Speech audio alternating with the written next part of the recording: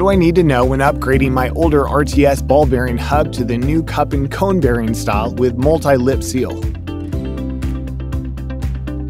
Changing the two ball bearings and V-seal on the older 4-bolt hub RTSs can be upgraded to the new cup and cone style bearings with multi-lip seal.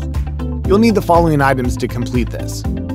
Cup and cone bearings, multi-lip seal and counterface, upgrade kit which includes a spacer, nut, and pin.